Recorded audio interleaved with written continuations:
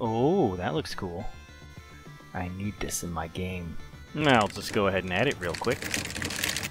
Ooh, this is gonna be sweet. Ah! Radial cooldown timers look awesome, and I think I know why. But they are a sack of parts to add to a project. So I spent my time figuring out the best looking and fastest way to add different circular time trackers to a project. If this mechanic interests you, stick around. I have four different styles and a bunch of random tips that'll make your life easier than mine was. Style 1 Cool little outer circle. This is the hardest progress bar to make line up nicely with pixel art. Since you're rotating a curved line, which doesn't actually exist, but instead a pattern of pixels that jut out and don't line up with the circles underneath. But the larger your image, the easier it is to line up. The idea here is to cover the edge of your circle with two thinner half circles. These will start invisible and both become visible as soon as the skill goes on cooldown, which means your skill is 100% away from being usable again. From 100 to 50%, you will be rotating the right side thin half circle underneath the left side one. Once it reaches 50% or less, you will make the right side half circle invisible. Then from 50% down, you'll be rotating the left side.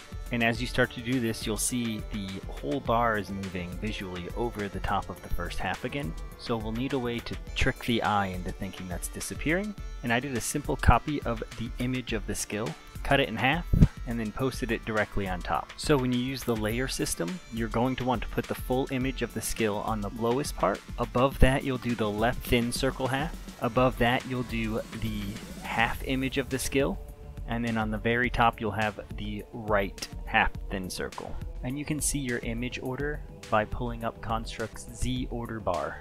Style number two. This one is designed the exact same way as the first one, except for the thin bars are now covering the entire side of the skill image. My main flaw with this style, usually you're going to want to have the image seeable through a slightly opaque progression bar, but if you reduce the opacity on these while they overlap each other, the opacity amount will double up. Style number three.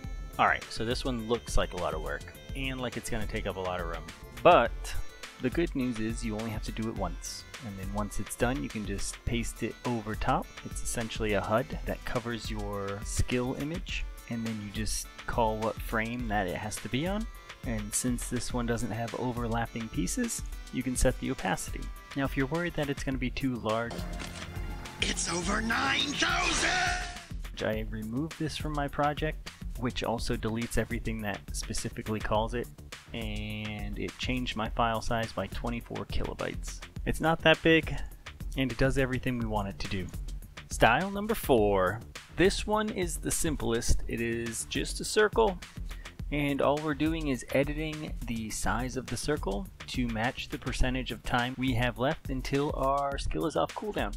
Just plop this bad boy on top of your skill image, and as long as your skill is on cooldown, every tick, just update the size of the circle. One last thing to hit real quick before we end this video, this will just hide some of the extra circle that hangs off the edge of your skill image and make it look a little neater. Now instead of laying our skills directly on top of our skill menu or skill background, we'll cut circles into the background itself and then we can place our skill images and circles underneath the background and that'll hide any excess circle that hangs off the sides. Alrighty, thank you all for joining. I'll catch you next time.